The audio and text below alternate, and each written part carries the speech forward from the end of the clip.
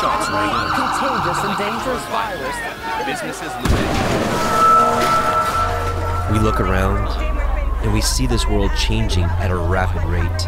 Honestly, it's hard to even keep up. What's happening? How did we even get here? What's next? All reasonable questions. Many have been waking up to the reality that things just aren't as they once seemed, and this world isn't what they once hoped for. Some within these perilous times have even turned to the scriptures for answers, but how can we trust the words of this supposed God? How can he exist and allow so much hate and evil and death and sickness? How can he be trusted with all the wrongdoing mankind has supposedly done in his name? Perhaps you once believed, but no longer.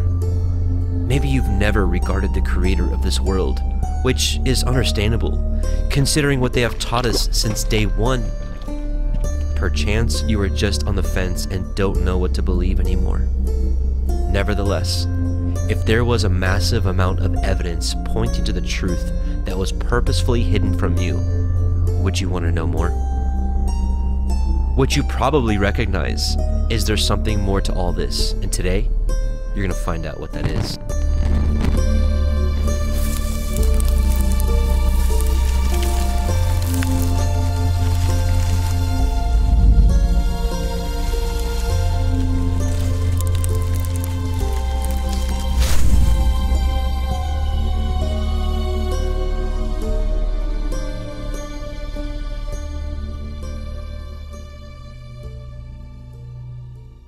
As a child growing up in modern day Judaism, I learned of the existence of a supreme deity, known to me as God at an early age, yet I didn't really know him.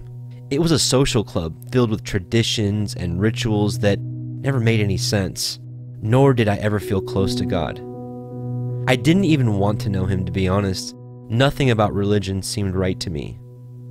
Those of you who were raised in religion might feel the same way. As I grew up and attended school, I began to learn what modern science teaches, specifically our origins. I struggled with the question of whether we evolved from single cell organisms to what we are today through billions of years by chance, or were we created? Simply asked, did God create us, or did we evolve from monkeys? The true answer to this has many implications, and is one of the main reasons for this investigation. If you're like me, you're probably skeptical of religion. Good. That means you more than likely have some critical thinking skills, and you may appreciate the research and journey I embarked on. My hope is that you get something out of it. I was born and raised in Southern California and had a relatively good childhood, no complaints. My dreams at that time were to attend the University of Southern California and then figure out the rest of my life from there. However, after two airplanes flew into some buildings in 2001, I decided I needed to do what's right, at least what I thought at that time, and serve my country. I learned much in the military, but let's fast forward even further. In my mid 20s, after leaving the United States Marine Corps, I started to stray away from my belief in God. I eventually formed this opinion that the scriptures were compiled to keep people in line, and the teachings of God and eternal life was formulated and perpetrated to comfort us with our eventual death and keep us in line until then. A bleak outlook, yet that's what was swirling in my mind. I know many of you can relate. I saw the hypocrisy in man made religion, and I simply wanted nothing to do with it. You also, more than likely, have felt the same. As I progressed in life and in my career, I continued to climb the management ladder and found success at nearly every corner. I was lavished with what the world sells as happiness a nice home, fancy cars, luxurious vacations, boats, lots of friends, you know, the American dream. Yet with all this, I still could not find inner peace nor lasting joy. It was as if every bit of success and every purchase were just band aids that tucked the nagging problems under the rug. No lasting peace. Why not? Why was I so miserable?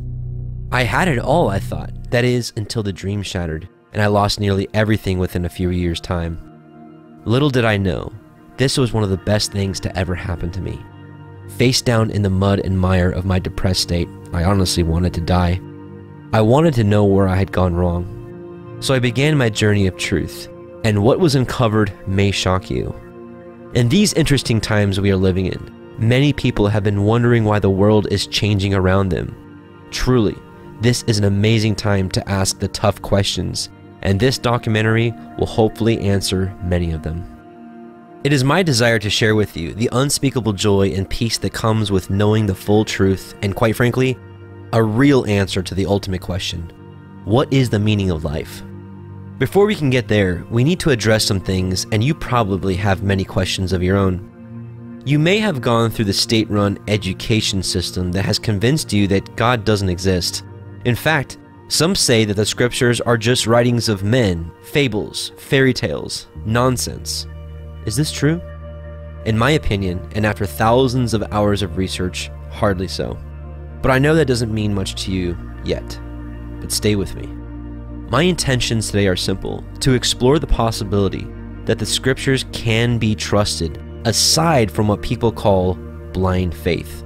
Also, that evidence truly exists in our modern world that proves it is the inspired Word of God, our Creator, while addressing some of the general misunderstandings, misnomers, and lies. In other words, we will take a look at the scriptures from a non religious standpoint to see if there is truth to it or not. There were a few questions on my journey that I wanted answered that may help guide you into making one of the most important decisions of your life, and it might just be what you've been looking for all your existence. Does physical evidence exist in our natural world that proves the scriptures are more than just stories? Do other historical writings contradict or corroborate the scriptural account of a worldwide flood? Does the evolution theory disprove the Bible? Although we have four different accounts of the life of Messiah that line up, do any non religious writings of him exist? What are the Dead Sea Scrolls, and do the findings there lend any credibility to the scriptures? Were the scriptures written by nomadic goat herders who were unlearned? Do the answer to these questions bring implications? It's an interesting time to be alive. We find ourselves at the forefront of many firsts in these last few generations. Think about it. Some of us are the first to grow up with the internet and cell phones and many other life changing technologies. Our parents were the first to see computers emerge, and our grandparents air travel and automobiles. Technologically speaking, the world is completely different than it was from just 150 years ago.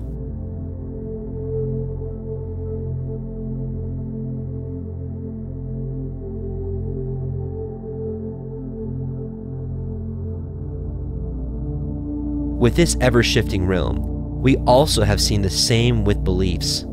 Considering theories like evolution and the Big Bang have only been in our school systems the past 70 years or so and are taught as fact, with this, we have seen an enormous drop in those who believe in God because it directly contradicts the teaching within the scriptures. According to a recent Pew Research study, only 56% of Americans believe in the God as described in the Bible, while others either don't believe at all or believe in some other random mystical source. Are people better off this way? As society continues to march away from the belief and principles of our Creator, we will see more depravity take shape in our culture, as we can clearly see now. Society has gotten worse over the past 150 years or so, and history will prove the same. With all this being said, regardless of what science attempts to provide as absolute truth, we will see that believing their side of things takes more faith than believing what the scriptures say, as nature and history cannot lie. Today. It's, you know, from goo to you by way of the zoo.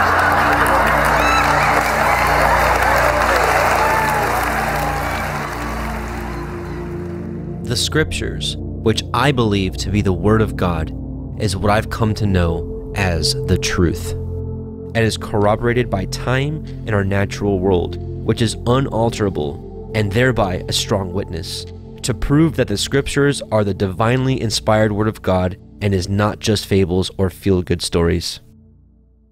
I want to start with physical evidence. Earlier, seven questions were asked and in my opinion, the answer to these will need no interpretation, but the proof will be in the pudding, as they say. So, does physical evidence exist in our natural world that proves the scriptures are more than just stories? Yes. Let's take a look at the biblical account of Sodom and Gomorrah. In the book of Genesis, there is a story about two cities that are wicked above all others. But the men of Sodom were wicked and sinners before Yahweh exceedingly. It is also mentioned that the people of Sodom and Gomorrah were heavily involved in sexual sin, which throughout the scriptures seemed to be the worst kind. When travelers would come through, they would be stripped of their belongings, and it was a rule that no one was allowed to feed them, so that they would die of starvation.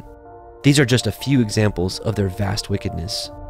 For these reasons and many more, God destroyed Sodom and Gomorrah to end their wickedness as an example for future generations.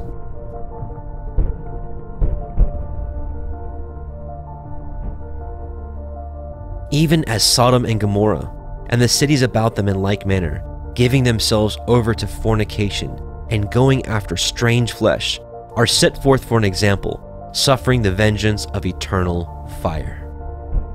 God destroyed these towns by raining fire and brimstone from heaven. Would it interest you that these two cities have been preserved until this very day? Stemming from the original discoveries of Ron Wyatt in the 1970s, many documentaries have been launched and have shown the very unusual qualities of this area.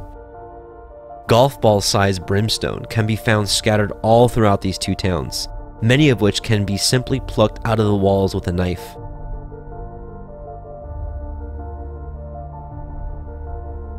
In these brimstone pieces remains unburned sulfur in the middle, which tells of the extreme temperatures once exposed to, cutting off oxygen to the core and preserving and encasing them for thousands of years. Footage shows these sulfur pieces being lit on fire. Yes, they can still be burnt today.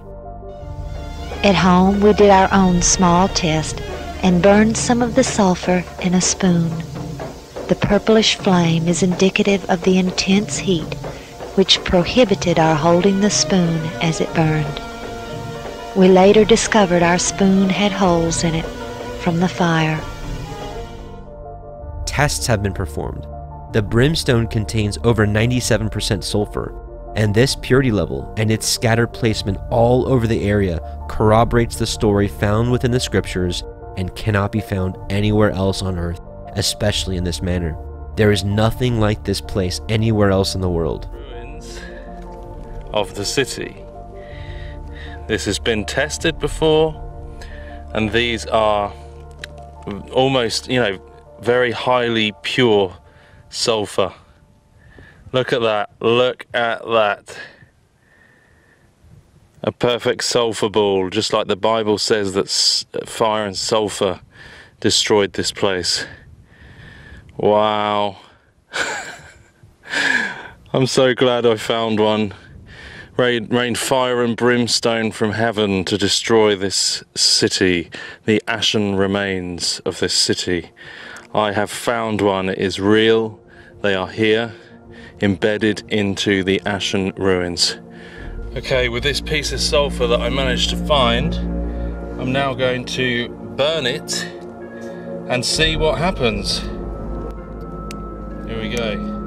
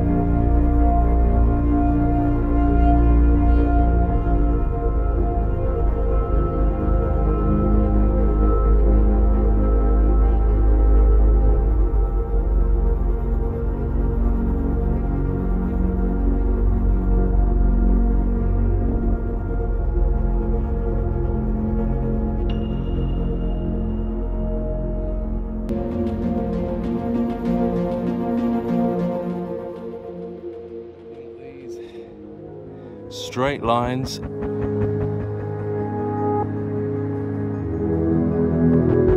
And the swirls that you can see in the ashen remains over there.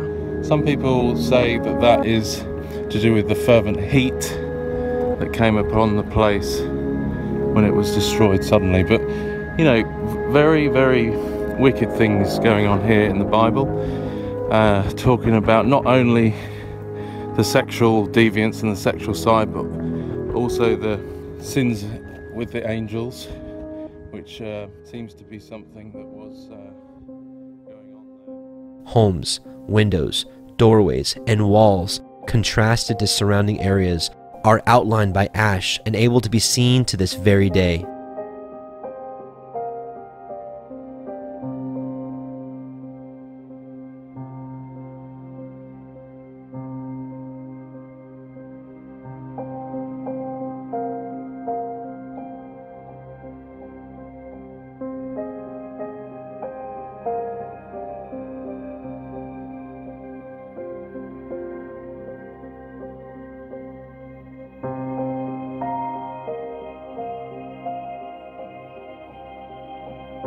The cities themselves are lighter in color than the surrounding areas. This, in my opinion, proves that there were two cities located exactly where they were supposed to be, according to the scriptures, alongside the Dead Sea, and have been destroyed just as they were outlined in the scriptures. This desolate land truly is a witness to the accounts told within the Word of God and should be an example for all of us to flee from wickedness.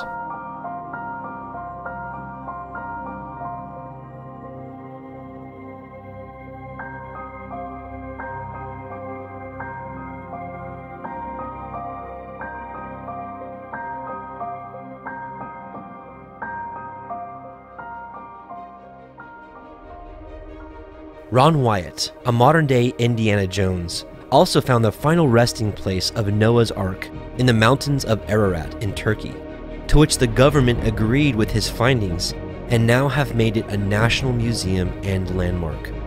It's worth mentioning that the size of the remarkable landmark precisely matches the description of the ark in the scriptures. It came to rest in a high mountain valley known to the modern day locals as the Valley of the Eight, who once were disobedient when the patience of God kept waiting in the days of Noah during the construction of the ark, in which a few, that is, eight persons, were brought safely through the water. Once more, it was found in a high mountain valley. Why was a massive ship found at an elevation of 6,300 feet? Large ancient anchor stones were found scattered in this valley, declaring the authenticity of this discovery. The story began in 1957 during the Cold War when aerial photos taken of eastern Turkey while searching for Soviet missile bases revealed a strange boat shaped formation in the mountains about 6,300 feet above sea level. Life magazine reported on the story after an expedition from the United States went to the site in 1960. Blowing holes in the strange formation, the members of the team came away with the conclusion that there was nothing there of any archaeological interest. Ron Wyatt, like many others, read the story, but he was of the opinion that the site needed further exploration. There had been many claims of seeing Noah's Ark on the volcanic Mount Ararat, but Ron knew that it was a stratovolcano, and he believed that nothing would have been able to survive there. He noted the biblical account of the location of the ark. And the ark rested in the seventh month, on the seventeenth day of the month, upon the mountains of Ararat. Urartu, the biblical Ararat, was a large region in eastern Turkey. This location was certainly feasible. But the factor that captured his interest the most was the length given in the Life magazine story 500 feet. Most people were looking for a 437 foot Noah's Ark based on the Hebrew cubit, but Ron again went to the Bible to learn more and Moses was learned in all the wisdom of the Egyptians. Moses was the author of the Genesis account of the flood. He would have known the cubit of the Egyptians. The Hebrew cubit didn't come into existence until there was a Hebrew nation after Moses' death. The Encyclopedia Britannica stated The Egyptian cubit is generally recognized as having been the most ubiquitous or universal standard of linear measurement in the very ancient world. The royal cubit equals 20.62 inches. This would mean Noah's Ark was much longer than 437 feet. Seventeen years after the Life magazine article, Ron finally made the journey to Turkey. When he saw the boat shaped object, he saw that it looked just like it did in 1960 and he knew he would need permission to excavate in order to learn anything about what was beneath the surface. So he returned home and enlisted a number of friends to help him pray for an earthquake to reveal more. In late 1978, he learned of an earthquake in eastern Turkey and returned in August of 1979. When he arrived, he was overwhelmed by what he saw. The earthquake had dropped the soil around the object, and a large crack extended the entire length. He could see what looked to him like the remains of decayed rib timbers along the now exposed sides. Also, he was able to measure the depth of the debris and measure the length. It was 515 feet, or exactly 300 Royal Egyptian cubits. He was now convinced. This is how you shall make it. The length of the ark, 300 cubits, its breadth, 50 cubits, and its height, 30 cubits. You shall make a window for the ark, and finish it to a cubit from the top, and set the door of the ark in the side of it, and you shall make it with lower, second, and third decks. Around this area that Ron believed to be embedded petrified wood, he found specimens of rock which looked very unique to him. He took several samples, along with several specimens from the boat shape below. Back home, he sent them for analysis. The results showed organic carbon, which indicated that the samples were consistent with decayed and fossilized wood. They also contained metals such as iron and aluminum. The analysis of the strange looking rock Ron had found about a mile and a half above the site by the bottom of the ship was clearly the most exciting. His initial analysis had shown it to be metals and not rock. In 1984, Ron met and became friends with Colonel Jim Irwin, the former astronaut. Colonel Irwin was searching for Noah's Ark on Mount Ararat but he was very gracious and was interested in seeing the boat shaped site. Ron had brought a metal detector to the site to see if there was a pattern of metal readings. In the presence of Colonel Irwin and others on his team, Ron employed the detectors. He found distinct metal lines down the entire length of the object, while no metal readings were obtained just outside of it. Ron asked Colonel Irwin, who had impressive scientific community connections, if he could have the strange specimen tested. Colonel Irwin sent the specimen to Los Alamos National Labs, where geophysicist John Baumgardner performed the analysis. The results of that analysis captured Dr. Baumgardner's interest. The specimen contained manganese, also titanium and aluminum, among others, and these were not in the form found in nature. Due to the sophistication of the metals, he questioned whether a missile had crashed on the mountainside and Ron had found the remains. The exciting evidences of the metal lines and the analysis of the specimens brought two new researchers into the work. Dr. Baumgardner and David Fasold, the marine salvage expert who knew all about ships and their construction. They both joined the team. Well, John, as a scientist, uh, uh, might I take the liberty here to ask you, uh, do you really honestly believe uh, that you have been on the remains of Noah's Ark? I have no, no doubt in my mind there's, this has to be a man-made structure. It's full of metal. The metal is, uh, has a regular pattern to it.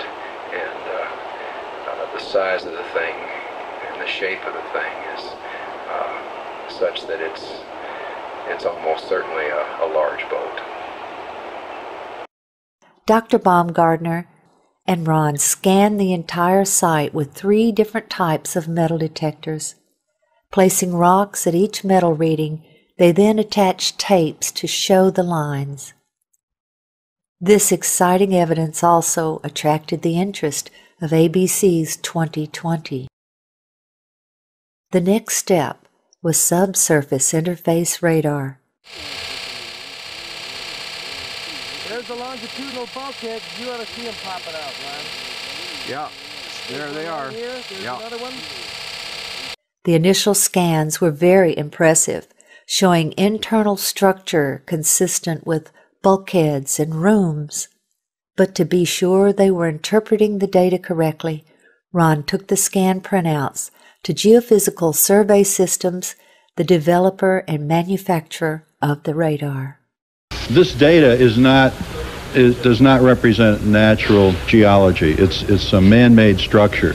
These reflections are occurring very per, periodic, too periodic to be random nat- natural type interface. There was no longer any doubt that this was the remains of something man made. In late 1986, the Turks announced their decision. The ceremony was set for June 1987. During that ceremony, the governor asked Ron to demonstrate the radar on site for the journalists and military officials. When Ron showed them a readout that he said looked like an intact timber, the governor then instructed a soldier to dig right there. What emerged was this petrified section of fossilized hand wrought timber.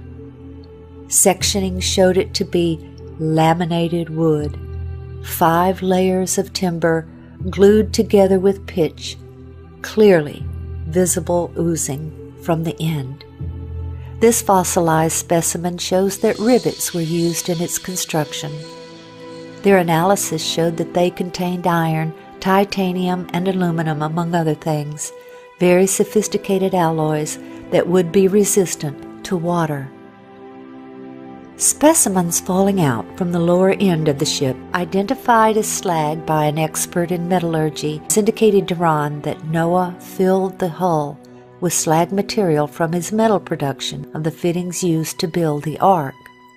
More complete radar scans revealed a ship, although damaged and collapsed in places, of very intelligent, modern design with a ramp system at the door which led to each level.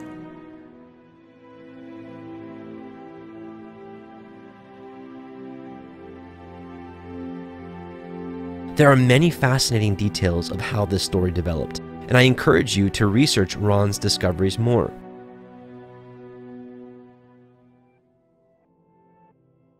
Considering many day historians, atheists, and others often poke fun at the story of Noah's Ark and the flood, the next question we should take a look at Do other historical writings contradict or corroborate the biblical account of a worldwide flood? We turn to the Sumerian tablets, which are labeled as being from 3000 to 3500 BC, due to the recognizable cuneiform literature that was established during that period. It is certainly interesting that this tablet that was preserved tells nearly the same narrative as the scriptures regarding the flood. In light of comparing the Sumerian tablet to the scriptures, the secular author has this to say. Perhaps the best known event that occurs across the two narratives is the flood story. The epic's flood story pans out almost exactly like the tale of Noah's Ark in the scriptures. I ask you, skeptic, what are the odds of this being a coincidence? The answer is probably too high to even calculate.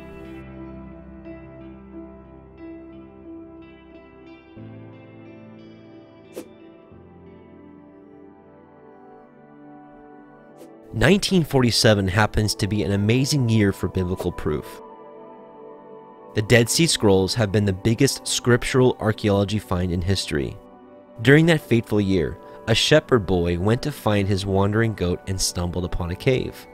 Wondering where it led, he tossed a rock inside, and to his surprise, he heard pottery shattering. This pottery was one of a multitude found in 12 different caves, containing ancient manuscripts. Prior to the finding of the Dead Sea Scrolls, some of the oldest manuscripts were roughly a thousand years old, which was a main reason why doubt was casted on the legitimacy of scriptures. The scrolls found within the caves are estimated to have been written around 408 BCE, which verify the scriptural account found within the book of 2nd Esdras, also known as 4th Ezra, which was included in the 1611 King James Bible. In the 2 Esdras account in chapter 14, we see a plea from Ezra, who was a priest and scribe, to restore all the scriptures that had been burnt by the Babylonian army in the destruction of Jerusalem and its temple around 425 BCE. Here is an amazing thought. The book of Isaiah, alongside Genesis and many others, were found mostly intact, with the same writing that we can read this very day, translated of course, but comes with huge implications. The writings that prophesy the coming of Messiah, what he would do, that he would be born of a virgin, how he would suffer and be raised from the dead, alongside countless of other prophecies, were written hundreds if not thousands of years before they happened. This isn't magic. This is the handiwork of God. Before the discovery of these scrolls, there was an ongoing dispute between those that trusted the Masoretic texts and those that trusted the older Greek translation of Psalm 22:16, clearly a prophetic verse describing the Messiah being crucified. They pierced my hands and my feet. The Greek translations has it as pierced, but the Hebrew copies had it as like a lion. Which one was right? How could we know for sure? Until the Dead Sea Scrolls were discovered, the debate remained. Now we have these older texts, at least a thousand years older. In Hebrew, it is written as karu, which means pierced. Instead of a yod, they found a vav, and that completely changed the meaning of the text. It was always a messianic verse.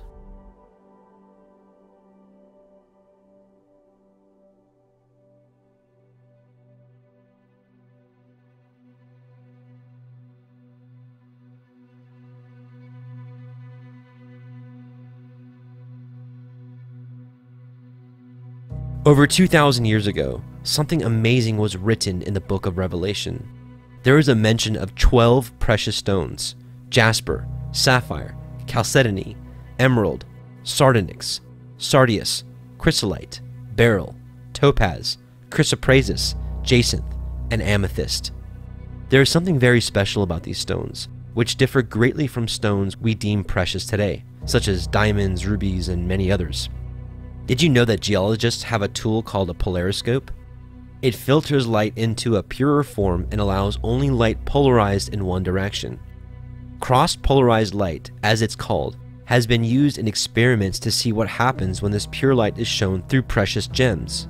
When exposed to this pure light, either the gem shines with brilliance of all colors of the rainbow in spectacular patterns regardless of its original color, or makes the gem dark and dull.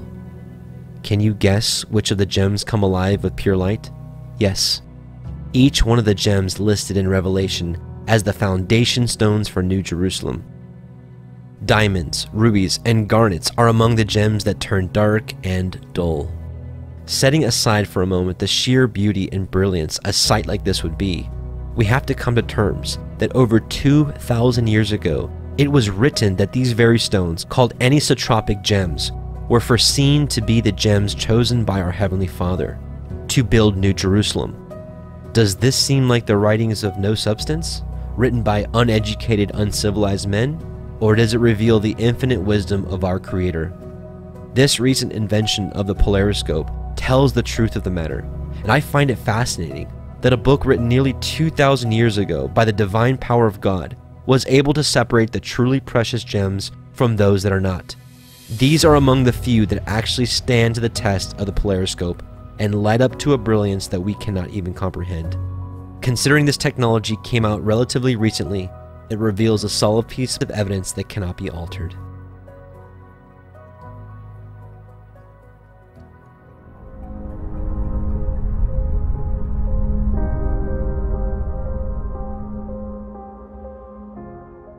New Jerusalem, it said, is built, made up of 12 precious stones that we would make into jewelry now.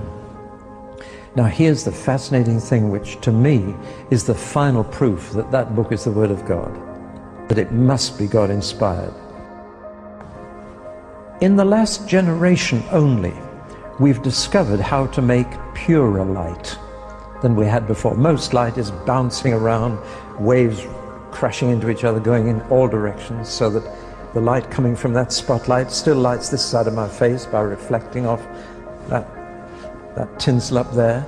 Um, we're used to light coming at us from all directions. But we've now discovered how to send light in one direction. Laser light is the most common. You've seen laser light beams straight as a die. But we've also got what we call cross-polarized light. A polarized filter, if you can imagine, allows light through like that. But if you put another polarized filter at right angles to that, you've really got a very fine filter.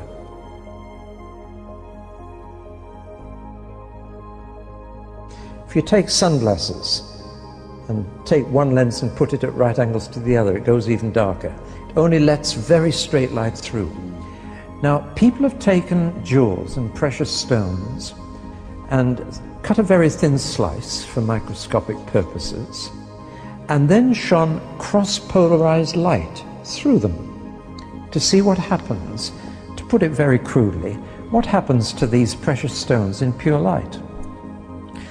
And one of two entirely different things happens with every jewel. The technical term, to give you a bit of science for a moment, is anisotropic jewels and isotropic jewels. Now what happens is this. Some jewels in pure light, whatever their color to begin with, they may be red, blue or green, turn into all the colors of the rainbow and the most fantastic patterns. Other precious stones in pure light lose all their color, just go black. Look like a lump of coal dust. And it's only in the last this generation that people have discovered this unusual property. For example, diamonds in pure light are nothing. Did you get that, ladies? They're not even hear that. Diamonds, nothing. They won't be there. No, so make the most of them here. Rubies, uh, garnets, just lose everything. Emeralds. No, they keep it. Oh, good. There are other stones that are anisotropic and go into these beautiful colors. Now, here's the fascinating thing. The 12 precious stones that God uses to build the New Jerusalem are all anisotropic. In pure light, they are all far more beautiful. And God doesn't touch the diamonds or the rubies. He doesn't build with them. Now, let's just put on the screen a picture of these stones. Yeah. Look at the top 12 stones on this picture, and you'll see the stones of the New Jerusalem. Look at the four bottom ones at the bottom of the picture, and you'll see they're black, no attraction whatever. Now then, who knew this 2,000 years ago? No scientist knew it. Nobody knew it. John the Apostle, writing the, down the book of Revelation as the Lord dictated it to him, he didn't know. Nobody knew except one person in the entire universe, and he knew, and that was God Himself. Where is that written exactly? Revelation 21, Right. halfway through, and you'll find all the 12 stones listed there. And you can just imagine from the picture we've seen on the screen how beautiful the New Jerusalem is going to be. Mm. No need for do it yourself decoration or changing rooms there. No need. The materials that God uses will be fabulous. From verse 19, 21, right. verse 19.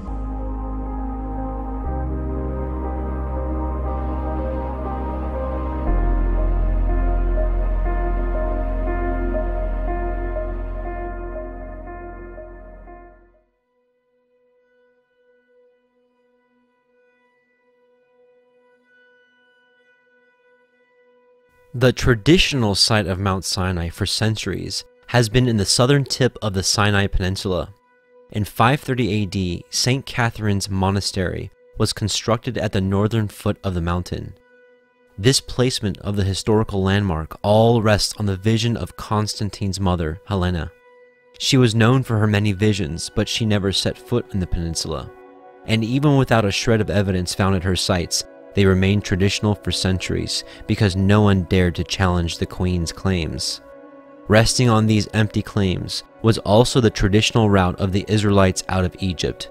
It was assumed that they took a route out of Goshen in a more southerly course, eventually crossing the Gulf at Suez. Years passed and more claims emerged that they simply crossed the swampy lakes near Goshen, claiming that it was no miracle but rather natural events which can be easily explained away. No miracle needed. But these claims must ignore other important key details to the account. There are many different claims to the exact route they took and which body of water they crossed, but only one path provides an astounding amount of evidence. Let's take a look at it. Through only recent discoveries, originally by Ron Wyatt, it has been shown that much evidence describes a very different path than previously thought. In fact, one would have to seriously overlook major findings regarding this path and turn a blind eye to the implications of these discoveries. From the scriptures, we know that the Hebrews took a route through a place called Sukkot. From there and southeast, they traveled through the desert.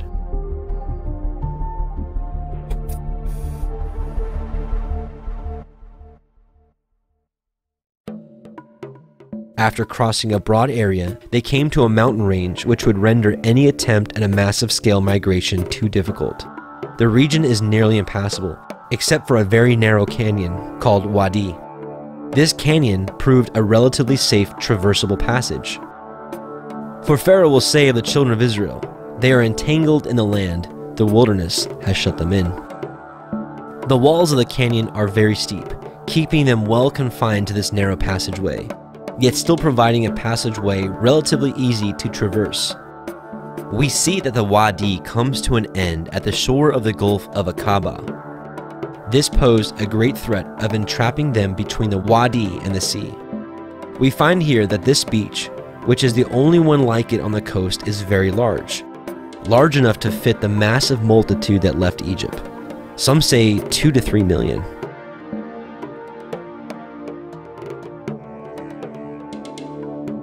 Here on this beach, we find a very peculiar area that has been melted. Sand and stone fused together by some unknown source of intense heat. Could this have been where the pillar of fire touched the earth?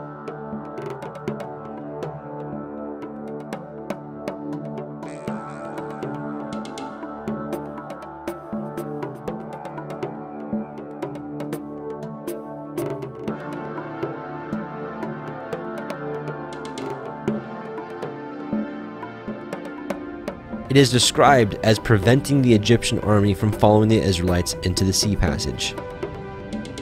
And the angel of God, which went before the camp of Israel, removed and went behind them. And the pillar of the cloud went from before their face and stood behind them. And it came between the camp of the Egyptians and the camp of Israel. And it was a cloud and a darkness to them, but it gave light by night to these, so that the one came not near the other all the night.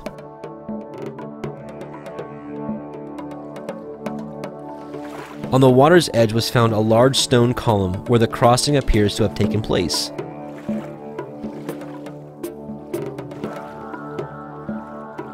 This eroded and damaged relic would not have been enough to mention if it were not for a secondary discovery of another matching column found on the opposite shore of the crossing in Saudi Arabia.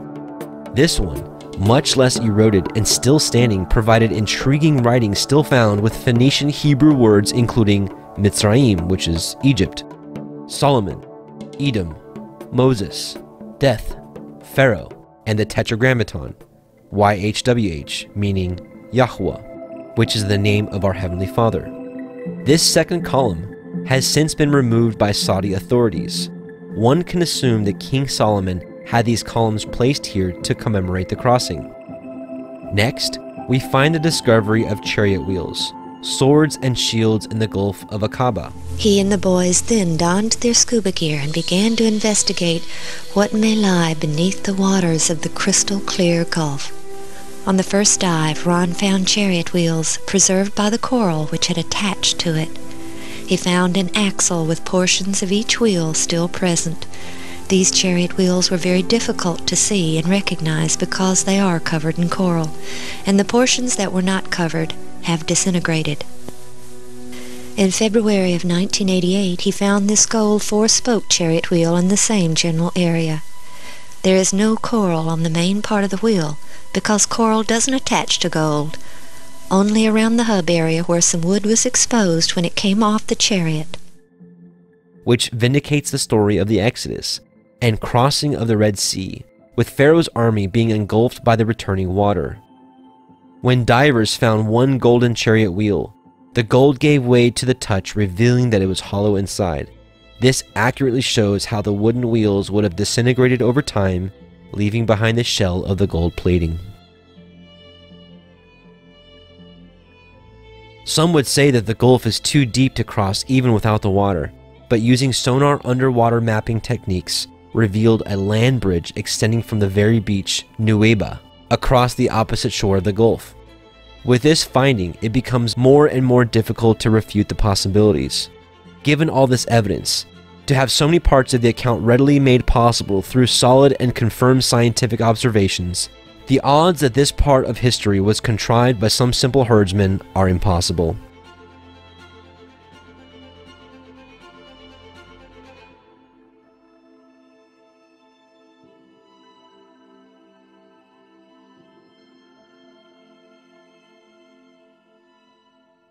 The true Mount Sinai, known in Saudi Arabia as Jabal al-Lawz, also has some unusual characteristics that compels one to take notice.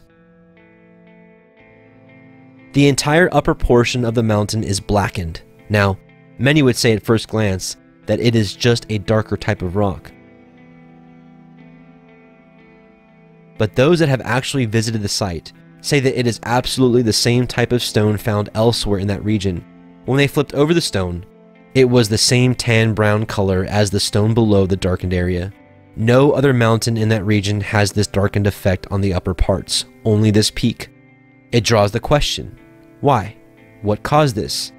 The scriptures describe an event that sheds great light to the situation.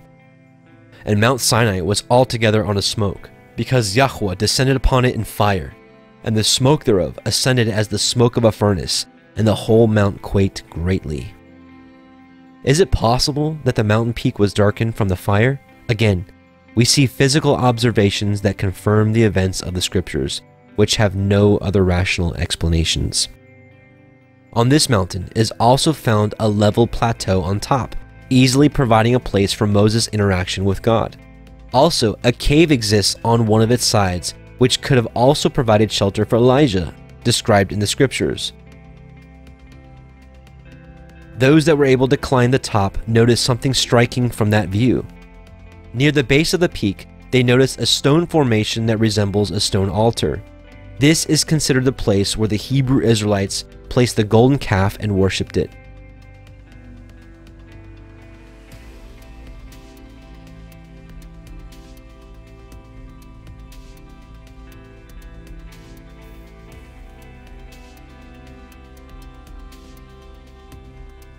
Further investigation reveals petroglyphs that do not match the known local history.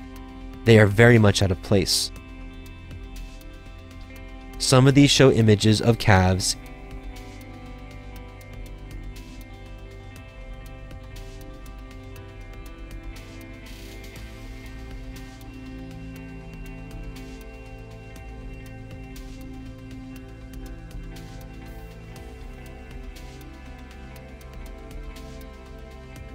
even a seven branched menorah.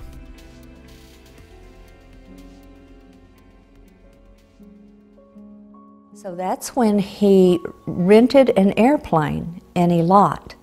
And from this airplane, he flew up and down the, the shore of the Gulf of Aqaba to see if he could find a wadi that would allow the Israelites to come across.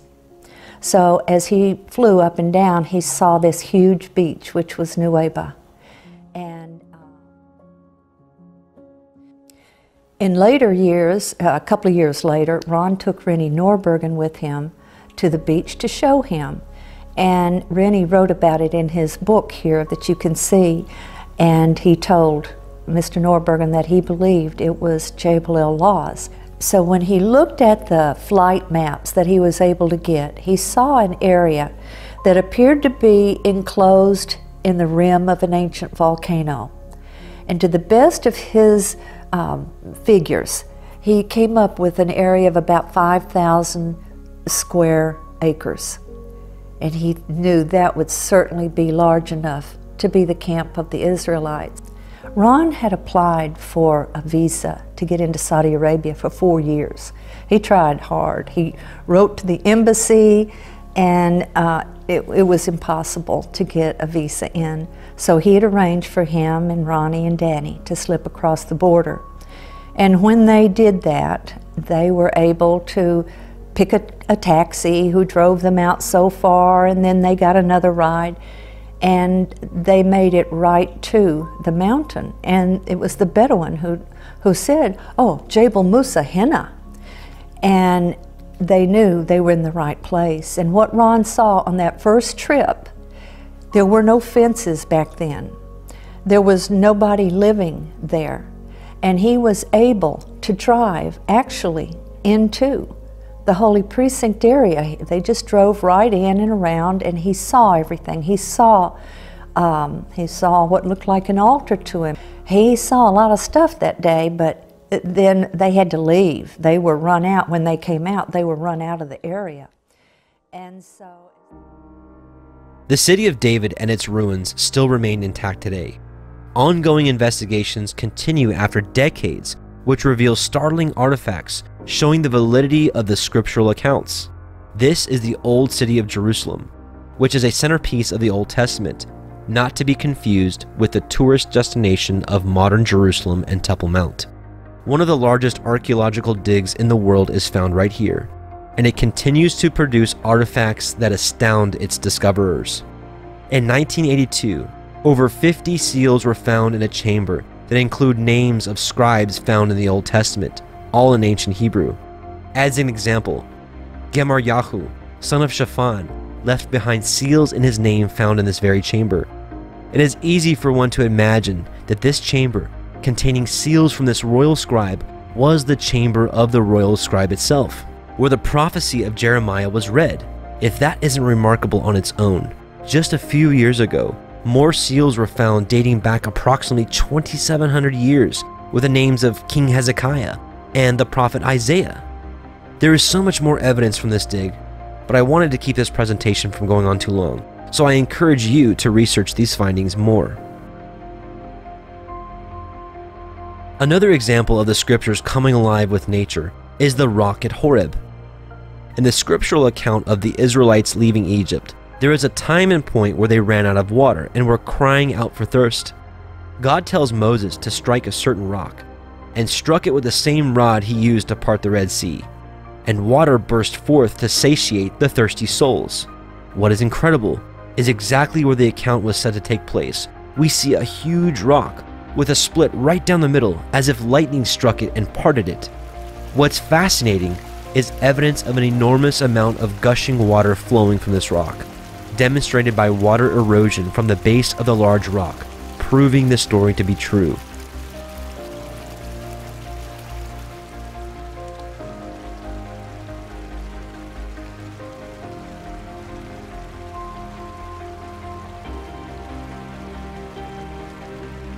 This rock is found along the route used by the multitude from the Red Sea to Mount Sinai.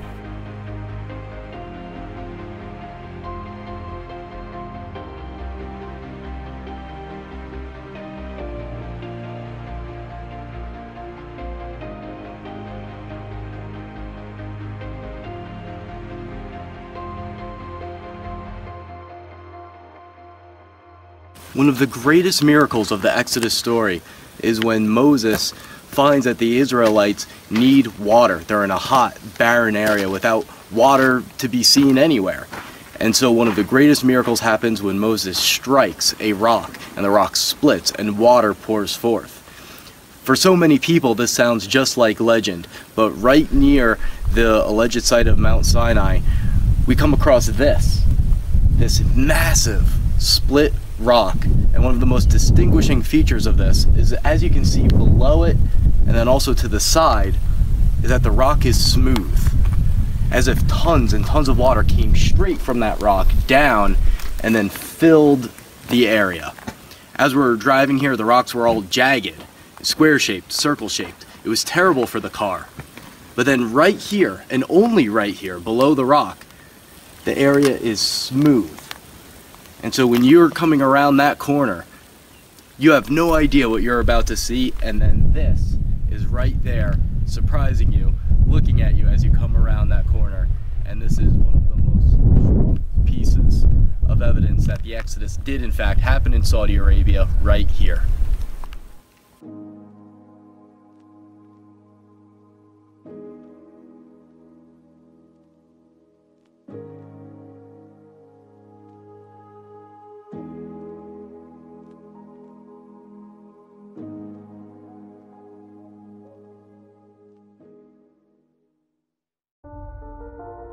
King Herod's massive hill palace, also known as the Herodium, and his other desert fortresses such as Caesarea are still in place.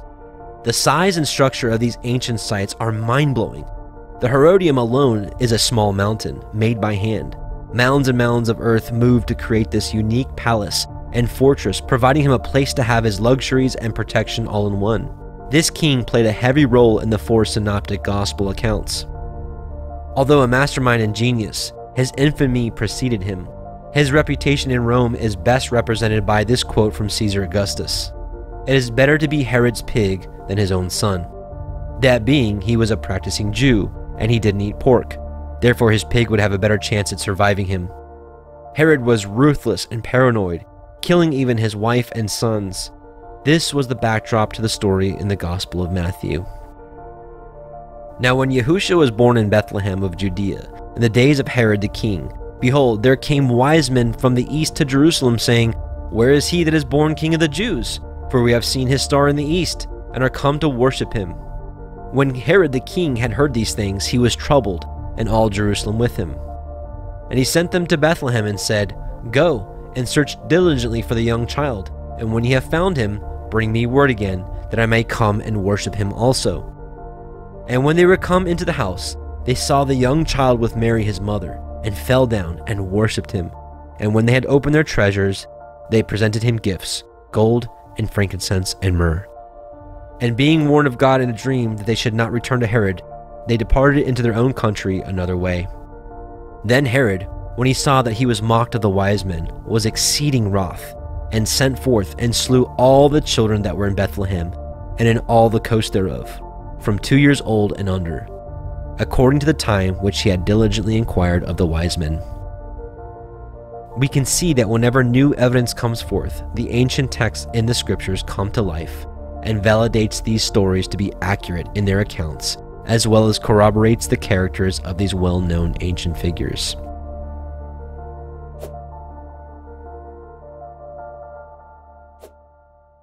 Almost every human being on this earth has heard the name Jesus Christ, who many have recently come to know by his true Hebrew name of Yahusha. But more on this for another time. According to the scriptures, he is the Son of God, the Word, who came down to earth, preached righteousness, was crucified, and rose from the grave to save us from sin. The detail of his life was preserved by four different accounts, each having its own unique view and report, yet telling the same overall story. These are the books of Matthew, Mark, Luke, and John. The average skeptic may say that the Gospels could have easily been created to fool the masses, yet having four unique witnesses giving different angles to the same overall stories should be solid proof. Even with this being said, it was my goal to search and locate any other historical writings that proved his life was real. Lo and behold, something like this actually exists. Why didn't I know this before? Why isn't this taught in every textbook around the country? A secular historian, meaning non religious, by the name of Flavius Josephus wrote about Messiah. The first century Jewish historian Flavius Josephus, who, according to Ehrman, is far and away our best source of information about first century Palestine, twice mentions Jesus in Jewish antiquities. Josephus also recounts an execution of James, who is the brother of Messiah and is properly identified by him as such, further strengthens our case. Would it be reasonable to think that this secular historian would make up the account of Messiah for no reason?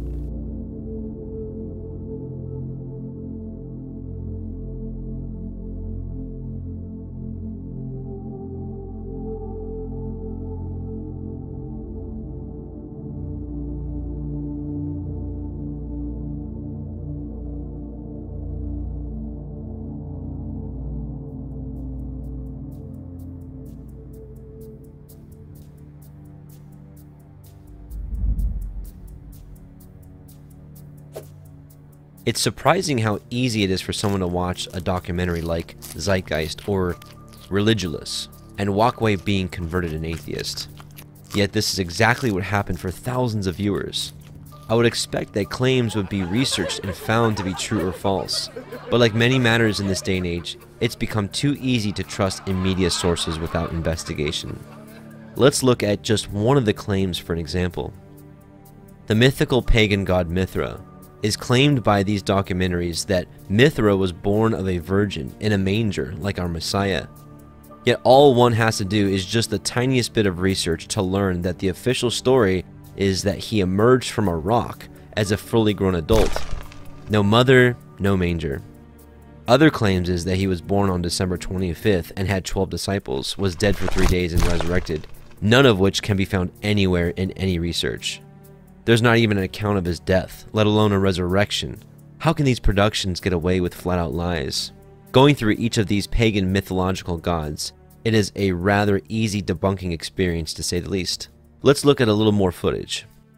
And since we apparently have stories of gods that predate Jesus, who had the exact same outline and ministry as he did, it's suggested that the story of Jesus is actually a knockoff of pagan stories that come before him. Here's a short clip from a documentary that was released called Zeitgeist. Mithra of Persia, born of a virgin on December 25th. He had twelve disciples and performed miracles, and upon his death was buried for three days and thus resurrected. Dionysius of Greece, born of a virgin on December 25th, was a traveling teacher who performed miracles such as turning water into wine.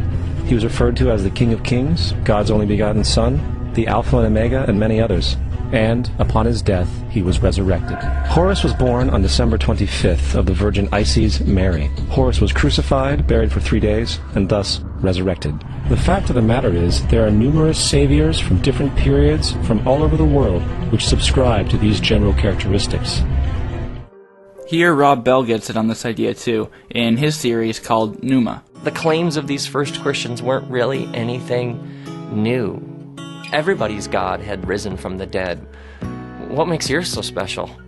And so does Jaclyn Glenn, the popular YouTube atheist. Mithras was a Roman god. He was the savior. He was sent to earth to live as a mortal. He died for our sins so that sinners could have everlasting life. But of course, he was resurrected from the dead. He was born from a virgin on December 25th. And guess what? He was born in a manger with lots of shepherds, and they referred to him as the light of the world. He also had 12 disciples, and they also had a Last Supper before he died. Now, a lot of different religious scholars will debate certain aspects of these different gods and say, well, that wasn't true and that wasn't true. But you can't begin to debate them all. You can't say that there's no credibility for any of them being historically accurate and historically accurate as saying that's how the people viewed that particular god. There, you can't dispute every single claim. Of course you can, and we're going to do that right now. Here are three major reasons that we know Jesus is not a knockoff or plagiarism of pagan god stories. The first point is that the parallels are either not there or completely made up. Let's look at Mithra for example. Mithra has absolutely no virgin birth. In fact, Mithra was not even born in a literal sense. He emerged out of a rock. Mithra was only born metaphorically, not literally. Here are some of Mithra's Petra Genetrixes, carvings indicating he was born from a rock. And the funny thing is, he even emerged out of this rock as an adult, not as a baby. Mithra has no mother, virgin birth, and certainly no manger. Mithra was also never actually killed, let alone crucified. As Mithraic scholar Gordon Richard says, there is no death of Mithras. And if he didn't die, that of course means there was no Last Supper, no crucifixion, no burial, and no resurrection on the third day. Now, how about Dionysus? Dionysus was born from Zeus having sex with Semele. In Hesiod's poem called Theogony, it reads that, and Semele, daughter of Cadmos, was joined with him, Zeus, in love, and bare him a splendid son, joyous Dionysus, a mortal woman, an immortal son, and now they both are gods. And while some other stories cite Persephone as the mother of Dionysus, no stories indicate a virgin birth. Dionysus died by being torn up into a bunch of pieces by the Titans and boiled in a pot and eaten by them. There are at least six different accounts of what happens to him after that.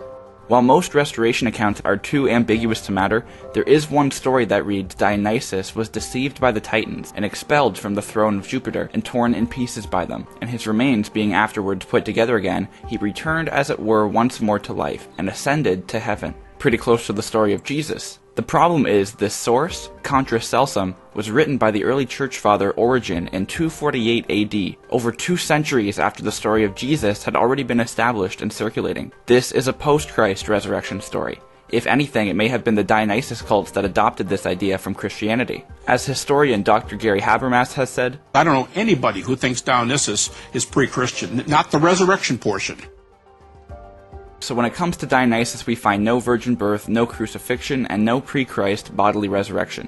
As for Horus, he also had no virgin birth. Isis had sex with Osiris after reassembling his body parts which were torn apart and scattered over Egypt.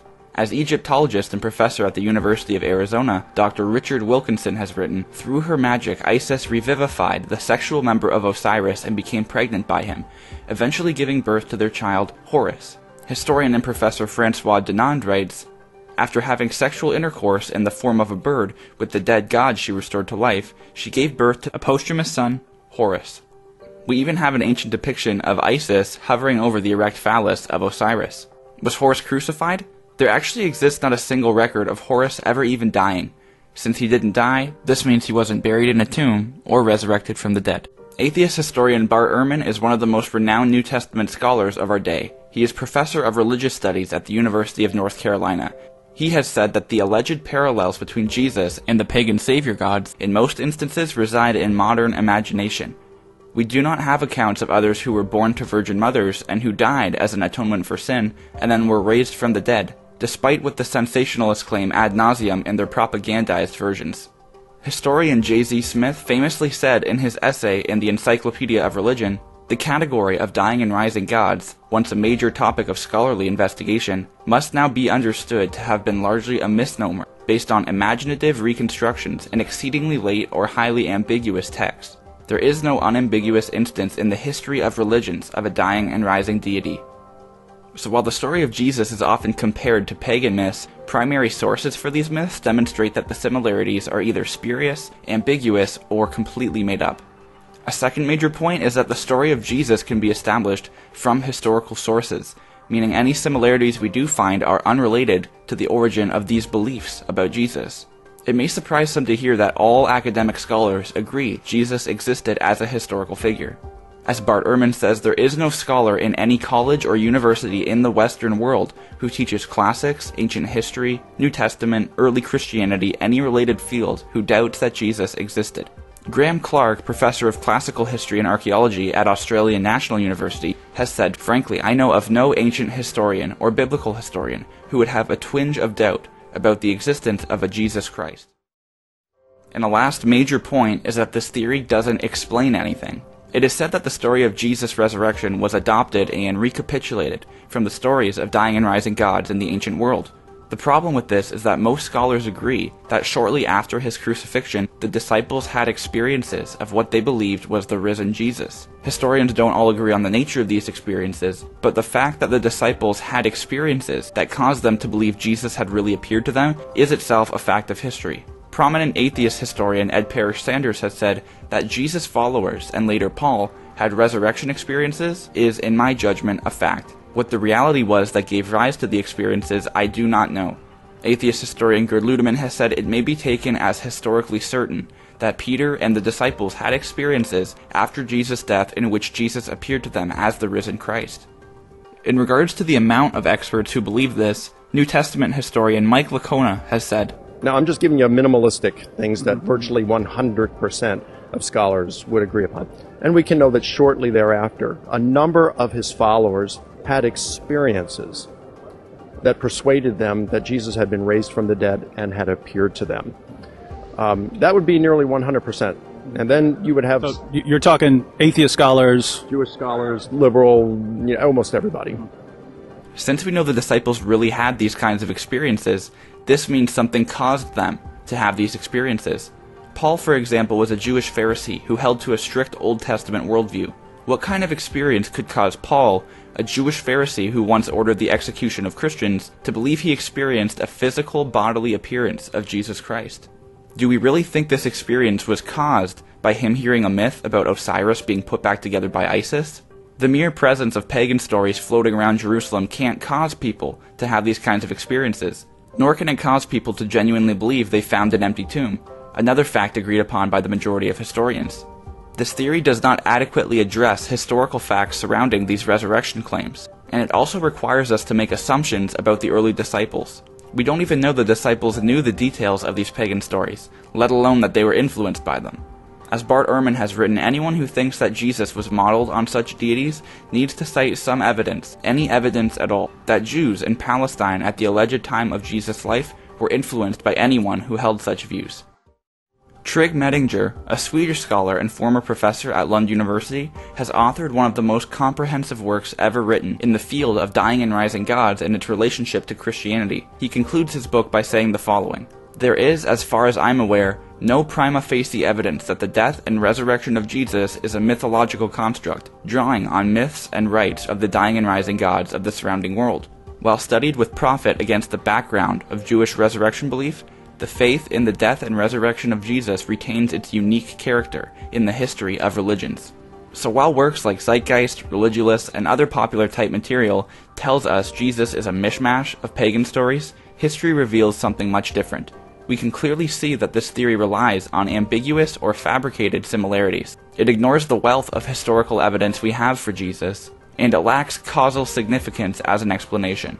For these three reasons, and many others, experts are universally convinced that pagan mythology had absolutely no role in the story of Jesus or the origin of Christian beliefs.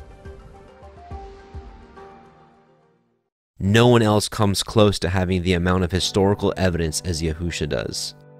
This leads to the discussion of other researchers, atheists, who have been converted just from their own research. True and honest research will always produce this fruit. Take, for example, the well known investigative journalist and writer Lee Strobel. In 1980, Lee set out to prove once and for all that the claims of the Messiah and the Bible were not true. His disdain for faith was tested when his wife was converted to Christianity. This inspired him to dig very deeply.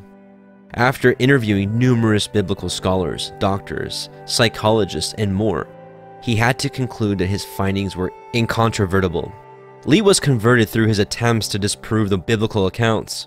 He ended up writing a book, and subsequently, a movie was made called A Case for Christ, which earned high rating scores with a box office success. I encourage all seekers to view it. The Iliad is an ancient collection of writings which the Greeks considered their Bible for some time, and some say originally composed around 800 BC. There are 1,500 remaining copies of these manuscripts, and some date back to the 3rd century.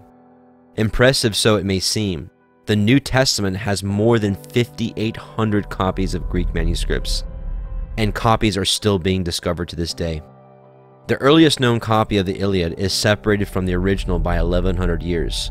Compare that to the earliest copy of the New Testament being only 30 years from the original. As for documentation, no other ancient manuscript matches the overwhelming existence of physical copies, and authentication so close to its original source. Plato's tetralogies have only seven copies, and Aristotle's work have no more than five copies.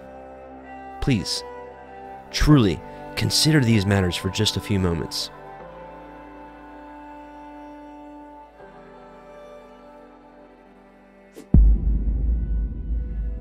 A huge misnomer in regard to the scriptures is that they were written by unlearned, sheep herding, nomadic men, and therefore cannot be trusted. While we don't have the educational background on every writer of the scriptures, we do have a few examples. Moses, the author of the first five books of the scriptures, known as the Torah, was highly educated by the Egyptians, who were the world power at that time. And Moses was learned in all the wisdom of the Egyptians and was mighty in words and deeds. We also see Daniel, another prophet found in the scriptures, was also trained by the world power in his time. When referencing Daniel and his three other kinsmen that were taken from Jerusalem to Babylon, this was said of them In whom was no blemish, but well favored, and skillful in all wisdom, and cunning in knowledge, and understanding science. These words don't hold true to the commonly held view that biblical writers were unlearned. Taking a step further, much of the scriptures contain the historical details about the military endeavors, kingship, and fate of the people of Israel. The task of scribing this information wouldn't be handed down to the town fool, but to one educated and fully trained. Truly, the claim that these books were written by ignorant men is all smoke and mirrors, set to detract the gullible from seeking wisdom contained within the scriptures.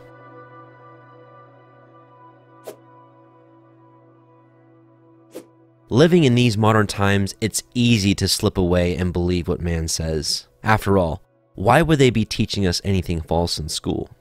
Everyone has our best interest at heart, right? Unfortunately, this is the furthest from the truth. And quite frankly, in this time in history, it should be evident to see. As I read through The Origin of Species by Charles Darwin, I couldn't help but look at his travels from a bird's eye view. What I witnessed was a man with great curiosity, looking into the vastness of wildlife and drawing his own conclusions. In fact, even Darwin himself had doubts about his theory. The eye to this day gives me a cold shudder, meaning that he couldn't explain the majesty and complexity of the eye itself, and that in speaking about his findings called it grievously hypothetical. Discussing fully the theory of evolution honestly would take its own documentary to explore all the details, as there are many points to cover. However, one must realize and recognize that the theory of evolution doesn't even follow the scientific method, as this practice requires observable and testable information. To look at a fossil or geology and to label something millions or even billions of years old is all based off assumption, which is what the whole theory hangs on. Let me repeat this. The whole theory of evolution hangs on the coattails of a man who questioned his own theory. So, with this in mind, why did the school systems worldwide adopt this as absolute truth? Well, in all honesty, I challenge you, the listener, to search this answer out for yourself ask questions. Why do a handful of families own 80% of the world's wealth? Why are these same people in charge of most political organizations? Why do they own nearly all media outlets and medical facilities, and even jails, alongside being the very same people who took over the education system?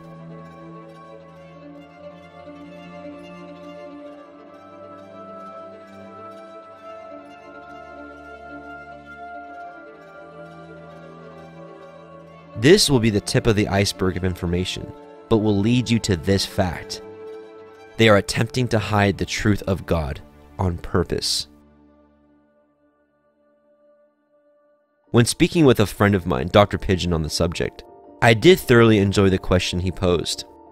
How many times can you take concrete, water, wood, tiles, roofing materials, windows, etc., and put them into a B 52 how many times can you drop them from the air and to form a house? The answer is never. No number of times will it ever form a house. We can apply the same logic to the theory of evolution.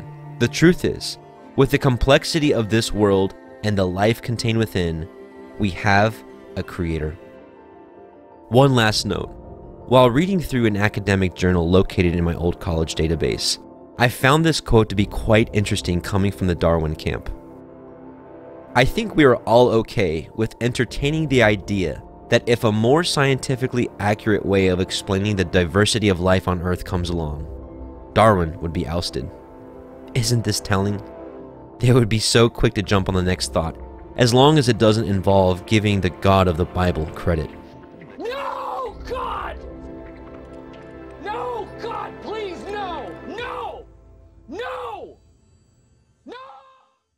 So let's start off with uh, the first question here. Is there any evidence for an infinite God? That's one of the questions I've been asked. How do you know there's a God? Where did God come from?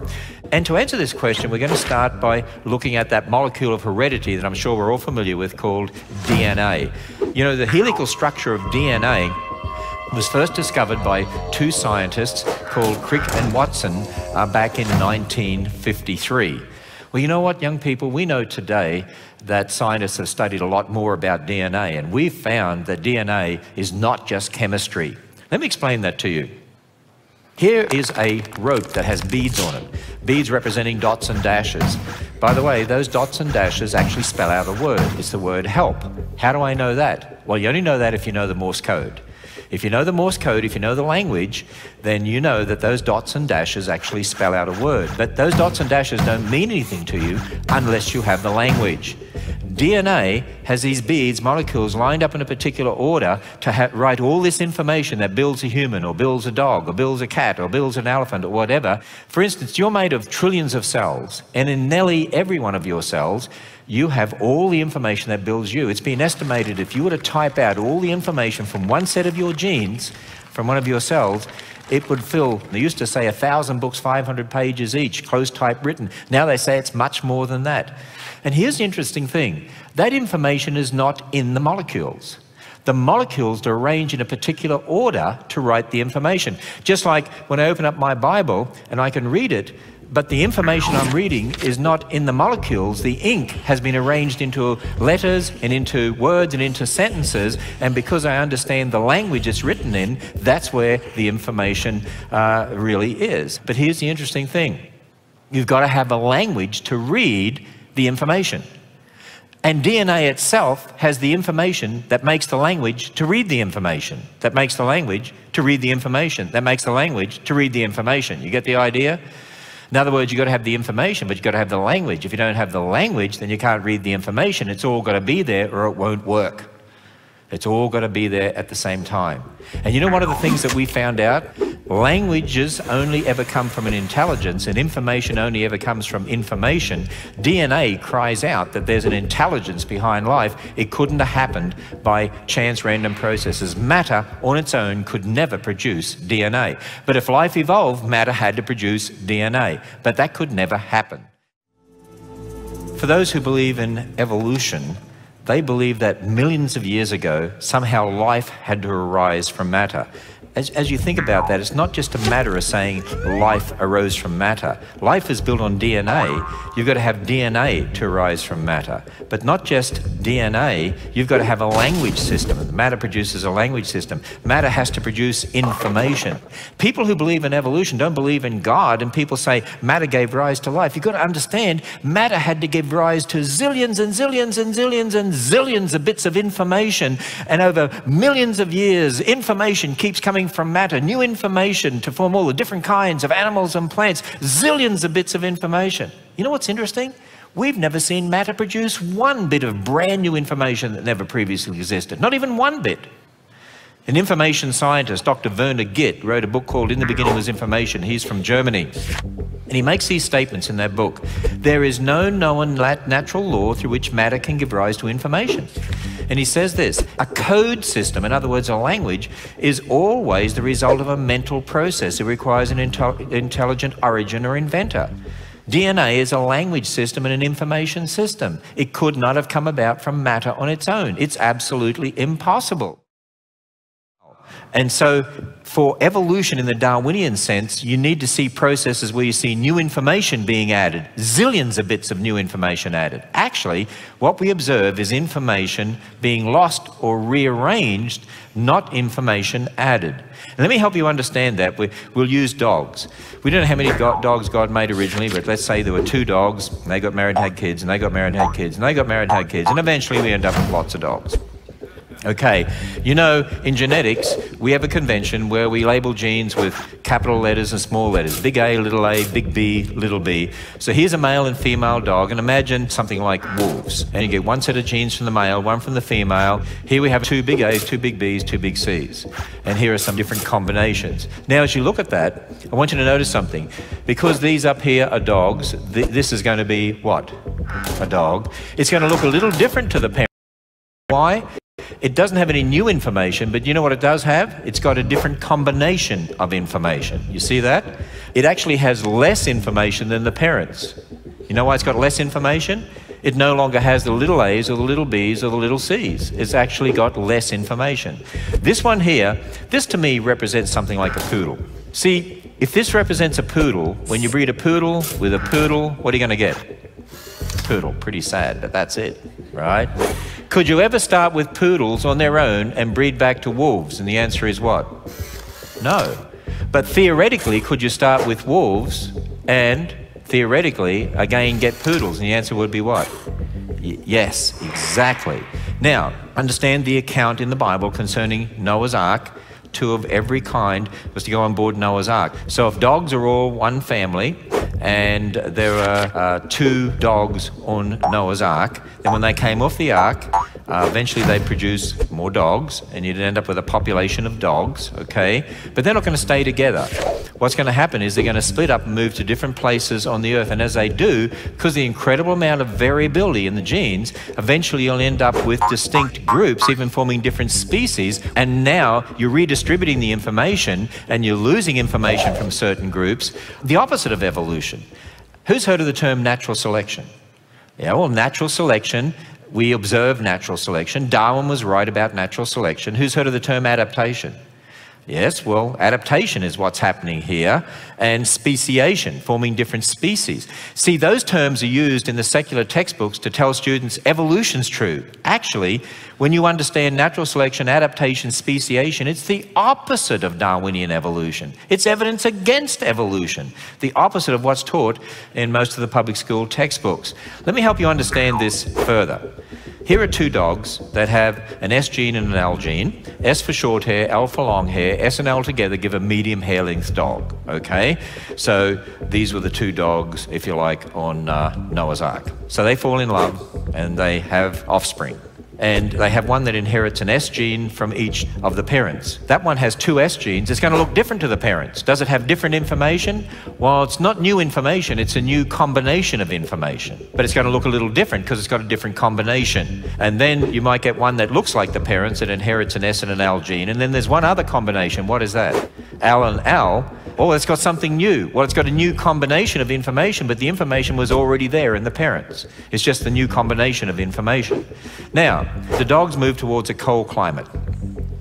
Those that have short hair and medium hair get cold and they die. And now you're only left with dogs that have L genes who on their own will only ever produce dogs with what? L genes. They could never produce short hair or medium hair again. You, you form a different species of dog. That's a, that's a long haired dog. You get the idea? If they move towards a hot climate, what's going to happen there? Well, those with long hair and medium hair overheat. They die. And now you're only left with dogs with S genes who are on their own will only ever produce dogs with what? S genes. And so over time, through natural selection, adaptation, what happens is you can form all these distinct species of dogs, but they're still 100% dogs and they came from the original gene pool. Think about this from a perspective of Darwinian evolution, you supposedly start with matter, no information. And over time, matter has to give rise to zillions of bits of information for all the information to build all the different kinds. So we should see increasing information all the time to build all these different kinds of animals and plants. Actually, what we observe is a loss of information, redistribution of information. It fits exactly with what the Bible would tell us. Actually, when we form different species, they actually have less information overall than the original, which means it's the opposite of evolution. This is evidence against evolution, and yet it's taught as evidence for evolution. And then you start to realize Noah didn't need anywhere near the number of animals on the ark that people think he did. He didn't need all the species of dogs, only two. He didn't need the African elephants and the Indian elephants and the stegomastodons and the mastodons and the mammoths. He only needed two of the elephant kind. And when the elephants came off the ark, again, just like dogs, over time you'll end up with different species forming, but they all come from the original gene pool and the incredible information that God put there in the first place. See how we can have answers? Isn't it easy to understand? Really is. Makes a difference. Helps you understand this. The Bible got it right about biology. Wow. Well, another question I'm often asked. Well, look, you talked about Noah's Ark there, but is there any evidence for a global flood? You know, one of the things that I say to people is this if, if there really was a global flood, you'd expect to find billions of dead things buried in rock layers laid down by water all over the earth. By the way, do you know what we find? Billions of dead things buried in rock layers laid down by water all over the earth. When I go to the Grand Canyon, I've been there with a park ranger, and you look down and you see all those rock layers and the fossils in the rock layers, and you see the big canyon there. I've stood on the edge of the Grand Canyon with a park ranger who said, Do you realize a long time and a little bit of water did this? I stood there and said, Do you realize a lot of water and a little bit of time did this? You see, because I believe the layers were laid down by the flood and the canyon was carved out probably at the end of the flood or after the flood. And of course, the park ranger would say, oh no, these layers were laid down over millions of years. It takes millions of years to lay down lots of layers. Well, no, that's not true. Before the famous eruption at Mount St. Helens, scientists were mostly familiar with slow acting examples of geologic change. But at Mount St. Helens, geologists watched the Earth's surface change quite rapidly. Icebergs were buried in hot avalanche material, they melted and formed badlands in days. Eruptions on May 18 and June 10 produced fine layers in hours. On June 10, mud flows cut zigzag canyons 100 feet deep in soft sand and mud complete with perpendicular side canyons. Canyons that are reminiscent of the geography of Grand Canyon, only 40 times smaller and clearly produced within hours. Fallen trees formed a log mat on the surface of Spirit Lake and dropped bark to the bottom of the lake, accumulating up to three feet of bark peat in just a couple years. And vertically floating logs sinking to the bottom of the lake resulted in buried trees in only a decade. Similar to the trees of Yellowstone's fossil forest, which are also buried in volcanic layers. Even though Mount St. Helens is a very small catastrophe compared to the flood or the major catastrophes immediately following the flood, it provides a better clue to what happened in those times than the slow geologic processes which are most commonly seen in the present. The Earth's surface is scarred by deep canyons, cut into solid rock. But how did they form? A little bit of water over a long time, or a little bit of time with a lot of water? Modern rivers don't generally cut downward into solid rock, so today's river erosion seems incapable of explaining rock canyons. The Great Flood of the Bible, however, provides a possible explanation for such canyons. In soft mud or sand in your own backyard, you can see the power of heavy rains on a small scale. A rainstorm can create miniature canyons in only minutes. Though these canyons are very small, cut into mud, they share many of the same characteristics as the world's Great Canyons. On a larger scale, mud flows have also been observed to form these features quickly. At Mount St. Helens, a single mud flow off the mountain carved Engineers Canyon out of soft sediment in a single day, 100 feet deep. And the same thing even happened in solid rock. A series of mud flows created Loowit and Step canyons on the front face of Mount St. Helens, cutting hundreds of feet into solid rock over just a few years. We observe canyons being cut into rock today but only by catastrophic processes. Just imagine how easy it would be to cut massive canyons during and after Noah's flood. Torrential water and mud flows, followed by uplift and heavy rains, created the right conditions to produce the world's canyons. Furthermore, it may have been easier when flood sediments had not fully hardened. Grand Canyon is a good example where we find evidence of catastrophic forces at work. Upstream is evidence of huge lakes. These lakes would never have formed if the canyon were already open below them. However, if these lakes had formed from rains after Noah's flood, and if the pressure of these waters broke through and carved through the recently deposited sediments, then we would expect to find surge deposits downstream. Below Grand Canyon, this is precisely what we find evidence of a lot of water cutting over a little bit of time. Take millions of years to form canyons, and it doesn't take millions of years to form fossils. At the Creation Museum, for instance, we have a fossil of a fish that was fossilized while it was eating another fish. That didn't happen over millions of years, did it? It obviously was covered very, very quickly, and there's lots of examples of that sort of thing. Uh, also, it doesn't take millions of years to petrify wood. Here's an interesting quote from a secular source. A few years ago, researchers at a national science laboratory in south central Washington found a way to achieve in days what takes Mother Nature millions of years, converting wood to mineral, in other words, to petrify wood. And we read a statement like that, but I think many people don't think it's true.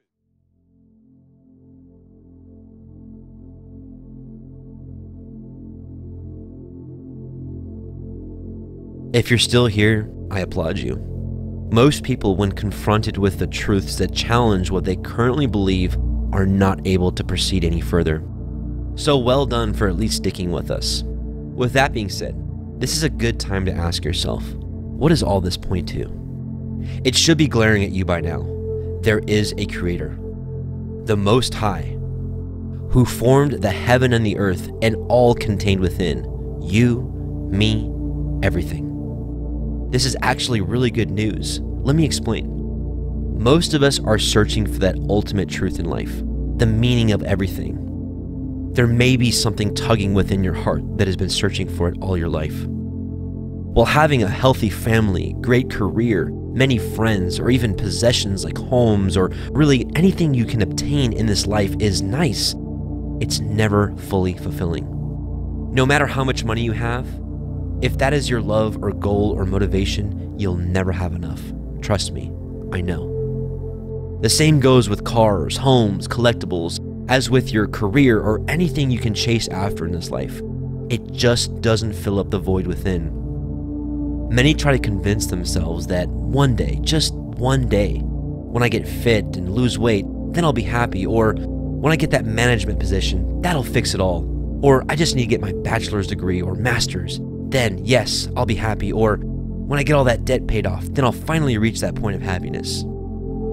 There are a million things we can chase after in this life, but only one thing satisfies a true relationship with our Maker, and He's told us how to do so. Blessed are they which do hunger and thirst after righteousness, for they shall be filled.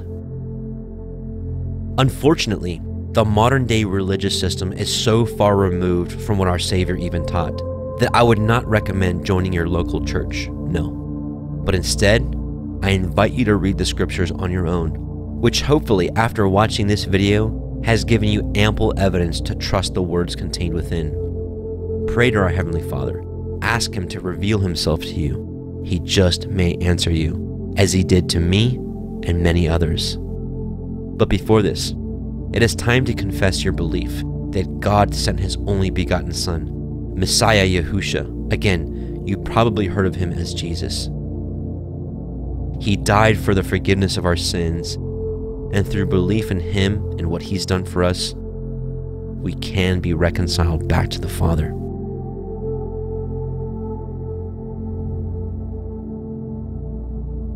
For God so loved the world that He gave His only begotten Son, that whosoever believes in Him should not perish, but have everlasting life. Before I found God through his son Yahusha, I was not a good man. Even though at the time I thought I was, I did as I pleased, probably as you're doing right now, because we did not take into account of an eventual judgment day. Whether you believe it will happen or not, it will. Acknowledging the truths about these matters discussed today led me and many others to the ultimate truth which is a love for the Word of God and believing in Him with all of our hearts and following what He's asked us to do. This has brought a change in many people's lives that nothing can take away, and the same is available to you. We are forever grateful for being changed people who loves to do good, to tell the truth, and thirst after God's ways and His laws, which brings the everlasting joy and peace that we can never achieve chasing after the things of this world fancy cars, clothes, jewelry, nice homes, great career, and of course, all the other things that money buys. It's endless and never fully satisfying. The only lasting joy and inner peace I've ever been able to find is this path to Him. Perhaps you are in a tough spot. Maybe you have health issues, or family, or financial, or maybe 10 things are hitting you all at once. Don't stress. And this adversity is where many of us have been called.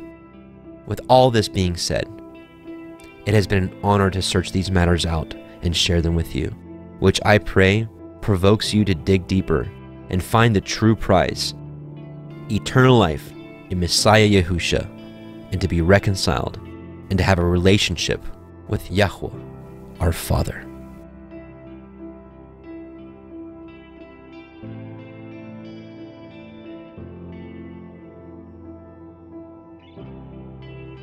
For more information and a better understanding of what a true walk with God looks like, and not all the extra man made religious hypocrisy, please check out this playlist and start getting acquainted in prayer. Yahuah bless you and keep you. Yahuah make his face shine upon you and be gracious to you. Yahuah lift up his countenance upon you and give you peace. Shalom.